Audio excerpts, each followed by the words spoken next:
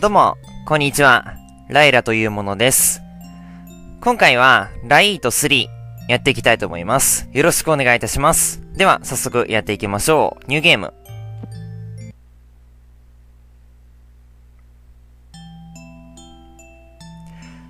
昔、あるところに一人の怪盗がいました。その怪盗は、世界中を回り、たくさんのきらびやかなお宝を盗んでいました。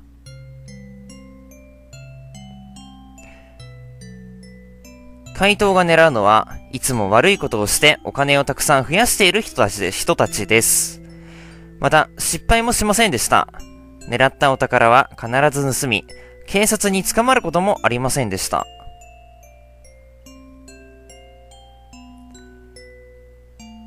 怪盗が盗んだお宝は、お金に変わり、そしてそのお金は、貧乏な町の人々に配られました。そして怪盗は、もういい。なんだろ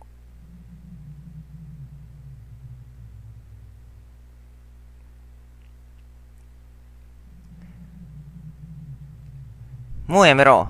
その話聞き飽きた。でもさ、すごいと思わない？大金が手に入ったのに人に配っちゃうなんてさ、別に？あいつは何もせずとも金をくれる都合のいいお人よしだと思う奴だっているはずだ。歪んでるね、絵本の話なのに、ちょっとひねくれすぎじゃないの？ほら、あんま怒んなよ、テオ。こんなところにいて、まだ、そんなこと言えるのか？いつ死ぬかわからない。毎日聞こえるのは、銃声、土星、悲鳴ばかり。うーん、おそらく、過去の話ですよね。絵本の話に希望を持ってる場合じゃないだろさて、今日はどうすっかな？今、どういうことになってるかわかるか？今日は大きな争いはないと思うよ。今日は、昨日片方がだいぶ痛手を負ったみたいだしね。じゃあ、食料確保だな。俺一人で行ってくる。また一人で行くのか？ジーン、お前は昨日怪我したばかりだろ。イーノスやシリルだって、前に負った傷がまだ完全には癒えていないだろうからな。でも、テオ兄さんも、俺は大丈夫なんだよ。その完璧な回答にはなれないが、お前ら全員守ってやるくらいのことはできるさ。みんな同じ、レオンハーツの性を持つ家族だからな。だいぶ疲れてるよな、テオ。大体のことは一人でやろうとしちゃうからね。僕たちがあんまり動けないのも理由にあると思うけど。あ、この銃もう弾が入ってないよ。え？うわ、本当だ。予備のももうないだろ？どうしよう。手はもう行っちゃったよ。僕たちで行こうよ。いっつもテオに頼りっぱなしだしさ。なんだろう、嫌な予感がする。さっきイーノス兄さん、片方が痛手を負ったって言ってたよね。まさかそっから持ってきちゃおうって言ってるのか？まあ、いつもテオが言ってるところだし、普段からザル警備だけどさ。うーん。安全、失敗、危険。イーノスのそれって何なの？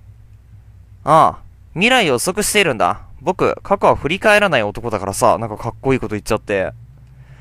でも、いつもよりは簡単に盗めると思う。それでも相手はギャングだろ？見つかったら絶対やべえって。まあ、テオはいつも一人でやってるんだけどね。うーん、こういうものって案外ね、集団行動より一人の方が難易度的には、だったりも、するときもあるよね。多分。三人なら大丈夫かな？あんまり離れないようにしなきゃな。うん。よし、さっさと行ってもらってこようか。なんだろう、嫌な予感がする。右、左、右。そんなに楽しいか？それ。うん。三つ編み楽しいよ、三つ編み。えっ、と、右、左、右。おい、さっきも右だったろ。ぐちゃぐちゃになってるじゃねえか。あ。最初からやり直していい？もうすぐ着くから急いでやれよ。おー、まただいぶ変わりましたね、雰囲気が。これから行くのはどんな街？ロ、ローズ、ん羽屋から前、連絡が来てな。金持ちのパーティーがあるんだが、行きたくないから代わりに行ってほしいと。パーティー楽しいのに嫌いなのかな？なんか黄金のお宝がどうとか言ってたから、メインはそいつの自慢だろうな。まあ、ただでうまい飯が食えるし、食えるもん食ったらさっさと帰る。うーん、レオは。また出たな、レオじゃない。あ、春リッキー、クロード。パパって呼んだら怒るし、何か統一してほしいな。そろそろね。なら、その名前で呼ぶのは俺と二人きり、街の中にいない時だけ。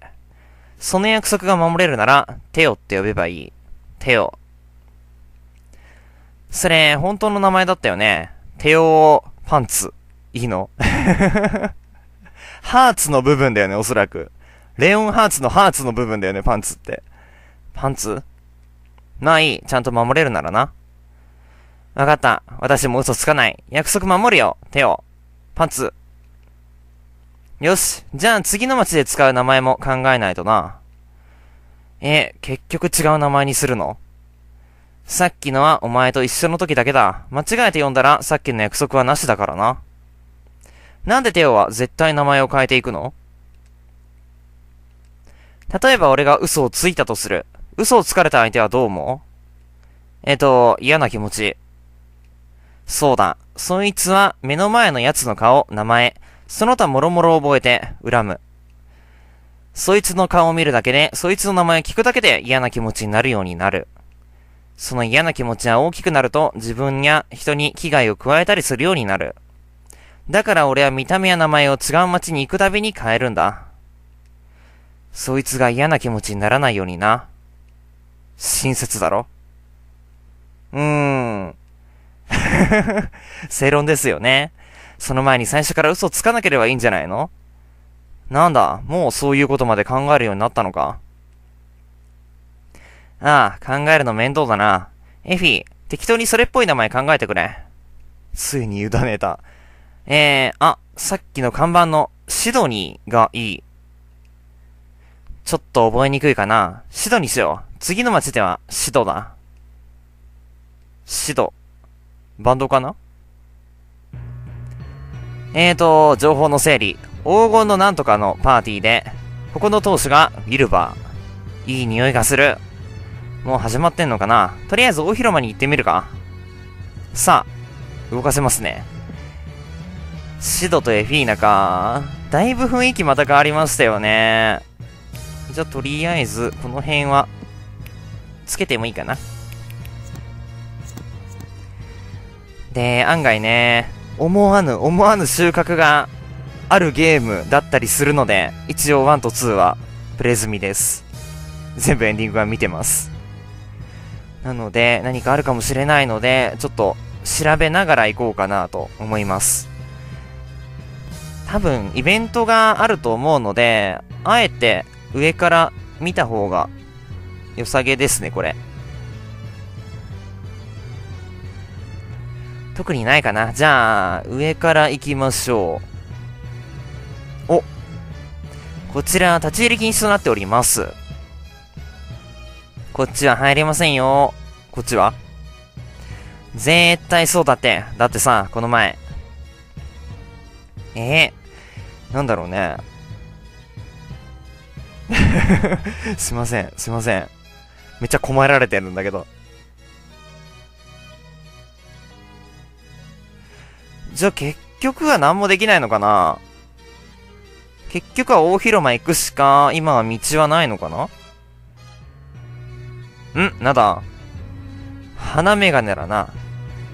エフィ、つけてみろ。ほい。あら、かわいい。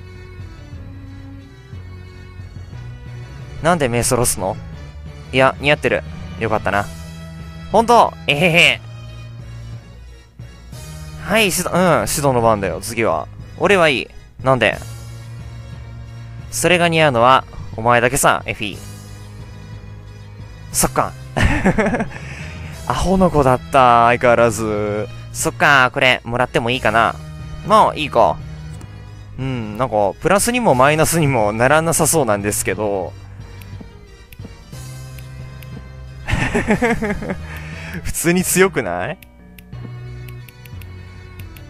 じゃあ、鼻メガネ装備でいきますか。小さなチョコパイが1個ある。サクサク。じゃあ、大広間、行っちゃいましょう。うん。かなり高いやつだな、これ。いい匂いがする。自慢をするときが一番生き生きしてると思うわ、彼。やっぱ自慢話って感じかな。まあ、それが本来の目的でもあるから。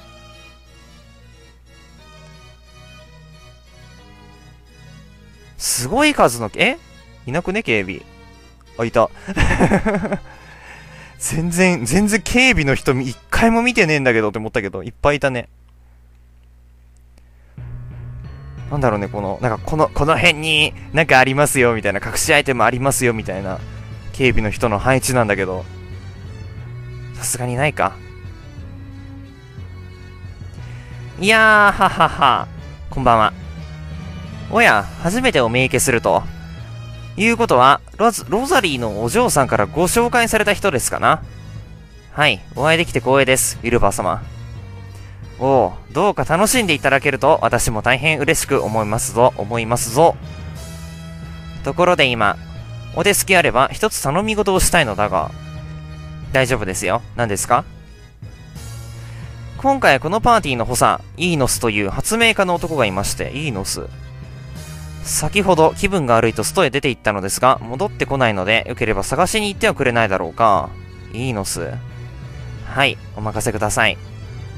よろしく頼むよ。はあはあはあ。なんだろうね、なんかめっちゃ、めっちゃテンション高いね。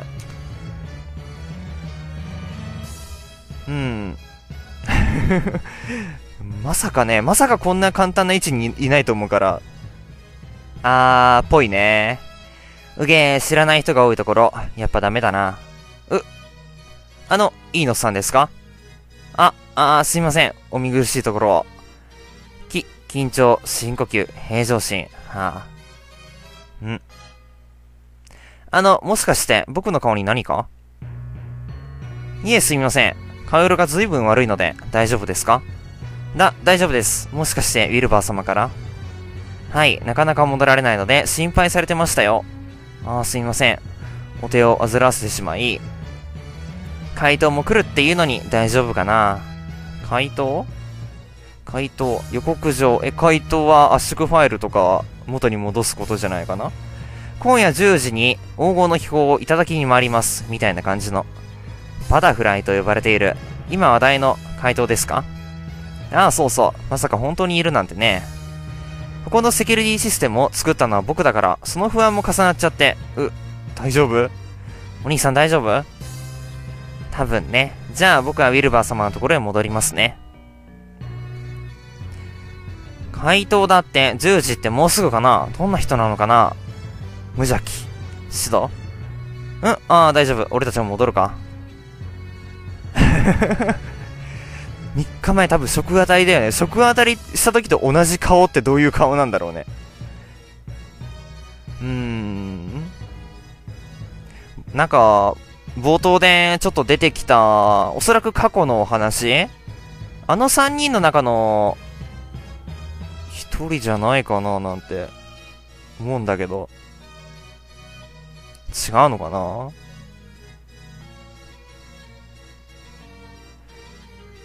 あ、先ほどはどうも。ものすごい数の警備員ですね。ええ、まあ、機械にも限界はありますから。10時に怪盗が宝を盗みに現れるでしたっけ？ええ、そうですね。これが予告状なんですけど。右下に蝶のマーク、今話題のバタフライのものですが、本物なんでしょうか？いたずらなら一番安心するのですがね。怪盗って何？圧縮ファイルとかをね、あの、元に戻すことだよ。ああ、最近新聞やテレビのニュースとかでよく聞かない？謎の回答また現れるみたいなの。ターゲットには前日に予告状を出し、予告通りに盗んでいく。そして予告状には蝶のマークが添えられている。蝶のマークは添えるだけって言いますからね。そのことから、怪盗バタフライと呼ばれるでしたっけ？そうです。あとは怪盗がつけている仮面も蝶の形をしているだとか、まるで本やアニメなんかの怪盗、そのままですよね。ええ、そうですよね。ケーキの人たちもお手上げ状態。とは言ってもしょうがないか。彼ら、彼らのお仕事は戦闘がメインのようですからね。のらりくらりと逃げる怪盗のようなタイプは苦手なのかもしれませんね。へえ、すごいな。シドも怪盗？やったら？一応詐欺師っていう、あのー、肩書きがあってですね。肩書きというか役職があってですね。え、でも、シド。あ、ホライフィー、口にお菓子のカスがついてるよ。うっかりさんだな。もうここ。まあそうですね。狙うのは、汚職事件があった政治家とからしいですけど、やってることは泥棒ですもんね。ん？ああ、そうだ。今回警備の人にもお願いをしているみたいです。ケーキ？しかしケーキは護衛のような仕事は、ああ、そうですね。でも最近新しい。そうですん？誰？ああ、ほら、話をしていれば、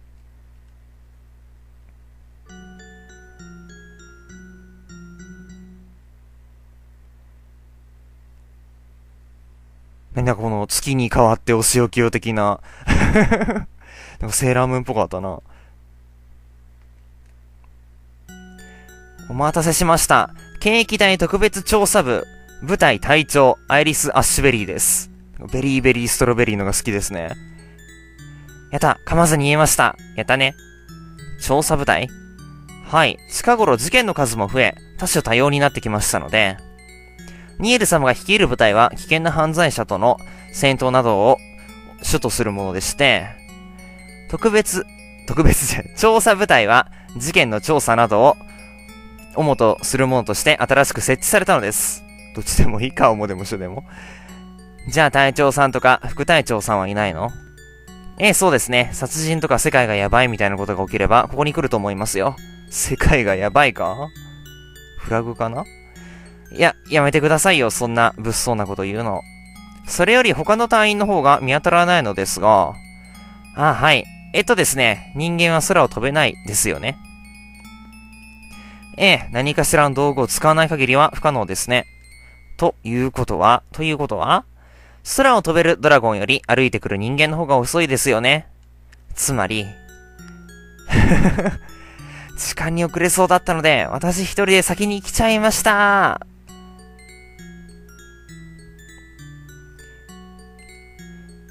元はといえば、私が最初に道を間違えてしまったのもいけないのですが、大丈夫です。怪盗なんて私一人でもパパッと捕まえてしまいますよ。大丈夫かな？あらあら動かせますね。ね、まあ元気なのはいいことですけども。アイリスさんだったっけ？はい、アイリス・アッシュベリーです。私はフィーナ。こっちはえっと、シド。アイリスさんもドラゴンだよね。どんな能力を持ってるの？お、気になります。驚くなかれ。私は能力を使うと目の前にあるものが何でもわかるドラゴンなのです。と言うと、実際に見てもらった方が早いかと、少々お待ちください。ぐぬぬぬぬぬぬ。すごい顔。まるで威嚇をする猫のようだね。ちょっと、失礼な。よし、分析完了です。そちらのお嬢さん、名前はフィーナ。身長は98センチ。そして、嘘を主な養分とし、体内に取り込むことが可能なドラゴン。すごいなそして、そのお隣の失礼な方。名前はテオバルト・レオンハーツ。身長170センチ。あれ？えー、なんか、結構、これ、まずくない？今名乗ってる名前も態度も全く違うじゃないですか。そういうこともわかるのか。ケーキは本当に面倒なやつばっかりだな。しかも見たところお前まだガキだろ。こんなちっこいガキに舞台の隊長をやらせるなんてな。9年目か。なんだ、まだそのくらいなのか。俺の半分以下だな。5、6、7、8。私9人分だエビちゃん、エビちゃん。3になって、ライト3になって掛け算ができるようになったんだね。ぐぬるぬるぬる。テオバルト。普段は詐欺師、いろいろな街を転々とし、その度に養子や仲間を変え。仲間、名前だ。3日前に食べたもの、脳ね3日前に食べたものまでわかるの草よく似た食える草と間違えただけだ。それでも草、草なんて、しかし、あなたのお金の貯蓄は？6。おいやめろ。えー、お金あるんじゃん。前お金ないからクレープはだ、クレープぐらい買ってあげなよ。くっそおい、余計なこと言うなよ、鳥頭。鳥頭って私のことです？本当に失礼な方ですね。ブレッド様から聞いた通りです。もうあっち行ってくださ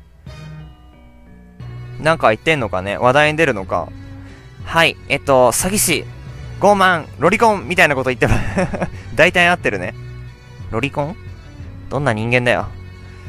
そんなにひどい人間がいるのかと私も思いましたが、今この場で見てはっきりしました。ああ、もう早くあっちに行ってください。うん。対象を分析するドラゴンか？本当にいろんなドラゴンがいるんだな。もうすぐ10時。黄金の秘宝美味しいよ。多分食い物じゃねえぞ。え、残念。あら残念。どうなんだろうね。話せばいいのかな？ぐぬぬ。まるで、威嚇をす、ごめんなさい。いやーははは。おや、どうかされましたかな？いえ、その黄金の秘宝というものをじっくり見てみたいと思いまして。おうおう、そうですかな。では、ここは一つお話もいたしましょう。わあ、本当に金ピがキラキラしてる。そうでしょう、そうでしょう。かなり昔に作られたもののようですが、その時の流れを感じさせないこの輝き。このゴールドタウンにはいくつかの言い伝えがありまして、何百年もの歴史の ヤフオクとかに出したらどんぐらいになるんだろうね。ドーナツいっぱい食べられる？ああ、1日10個食べても一生困らないくらいはいくだろう。トレジャーハンターになる方ががっぽり稼げるかもしれないな。ただ、大変なんじゃない？転職っていうの？いや、やらないけどな。楽して稼ぐ方がいい。そしてここからが山場ですよ。ムーディー、ムーディー勝山かな？受け流したと。なるほど。鐘の音？おや、つまりは10時。しかし、今のところ異変は？あ、ああらあらあらあらあらあら、停電、どうなってる？え、なんでみんなフラフラしてるの？そっか、人間だと真っ暗なんだ。お尻叩かれておられるんだけど。今、人影が、そっちですか？た、宝は？おお無事だ？無事？じゃ普通な停電？しかしそちらの点検もしっかり行ったのですが、配線？うーん。停電、配線、点検。ちょっと。エビ、今嘘を匂いはするか？うん、でも人が多いからだと思うよ。だよね。特定はできないよね。これだけ言っちゃう。ちっちゃいから形にもならないし。いいのす、右側の男。さっき停電、配線、点検と呟いたけどな。あいつは前のことを振り返るときは口には出さない。これからどうなるかどうするかを予測するとき、ああやってつぶやくんだ。やっぱりってことは、あの子だよね。なんで知ってるの？昔少し付き合いがあった。それだけだ。ただ形になってない。ということは嘘をつくことに罪悪感を感じていないってことかそれともあいつが時間の経過でただ性格が変わっただけなのか話を聞いてみるか。そうですな、話聞きましょう。